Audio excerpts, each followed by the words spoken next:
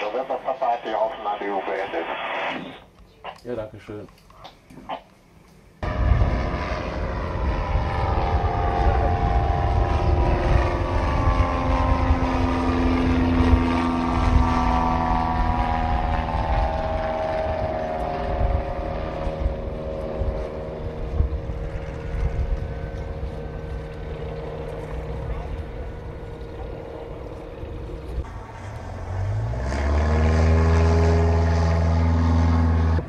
Dit eh, vliegveld. Ja, vloekleiter heet het eigenlijk. Vloek, ja, natuurlijk Duits. Ja, ja, natuurlijk, ja, ja, juist. juist. We, we hebben hier een uh, fly-in. Wat moeten Ja. we ons ervan voorstellen? Ik zie allemaal eh, vreemde apparaten. Het lijkt wel vliegende grasmaaiers. Ja, vliegende grasmaaiers, het zijn eh, zeg maar eh, eh, gyrocopters. Die Ja. staan ook wel in Nederland bekend als, eh, als de vliegende auto. Ja. Het zijn, eh, ja, eigenlijk zijn het kleine, kleine helikopters, alleen helikopters hebben geen aanloop nodig. Dat heeft deze wel. En dan eh, vliegt die, zet die, die, die, die eh, roterende, dat roterende blad. Ja. Dat is eigenlijk de vleugel en de motor eh, achter drijft hem aan. Ja, daar kunnen twee personen uh, horen Ja, ja kunnen twee personen in. Ja, ja. En eh, wat was ook voor eh, hulpdiensten eh, ingezet? Of ja wat, eigenlijk... zijn, wat zijn hun functies eigenlijk? Ja, die gyro- gyrocopters zijn eigenlijk dat is een goedkope manier om, zeg maar, om vluchten uit te voeren. Ja.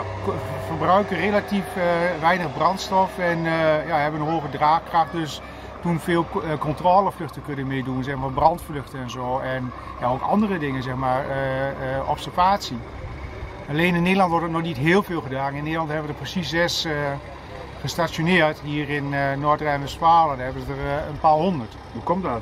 Ja, ze kennen ze niet echt. En dat is eigenlijk ook een beetje de bedoeling van, van dit geheel. Dat we deze hier in de regio ook een beetje bekendmaken.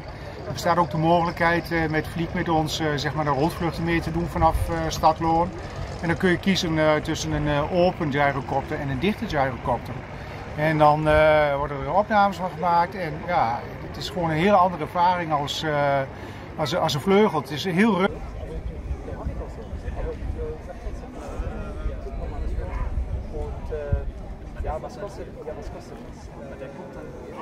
Spiel. Ich habe mein Spiel hier.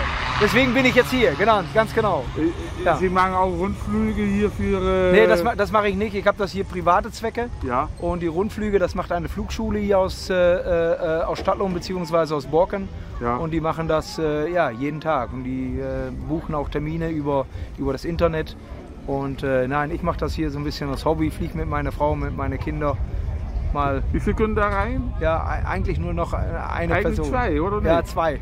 Aber ich muss fliegen und dann fliegt noch einer mit. Oh Ne? ja. Ganz genau. Ja. Und dann, äh, welche Orten? Sie haben einen Ra- Ak- Aktioradius von Ja, ja ist äh, ich kann, ich kann kommen. 200, 300 Kilometer. Ja, ein bisschen vielleicht? weiter. Also ich kann Weit? kommen, ich kann kommen mit dem Auto Gyro, der hat einen 100 Liter Tank Ja. und damit kann ich kommen dann äh, ja bis München, wenn ich möchte, oder Ja. bis Dresden Mit oder einem- bis mit einem mit Ein Zug. Einzug Ja. oder bis nach äh, ja hinter weit hinter Hamburg natürlich.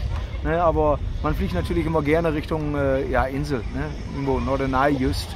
Ne? Oder auch die holländische oder, auch noch? Ja, die holländische kann ich auch hinfliegen, ja. Ja, ja ganz aber genau. dann müssen Sie Holländisch sprechen. Ja, das, nicht? äh, das ist gelingt, etwas mir, schwer. das gelingt nicht? mir ein wenig, ja, Ja. ganz genau. Ein bisschen Holländisch praten kann ich gucken, aber äh, ja, aber dann bleibe ich eher in Deutsch.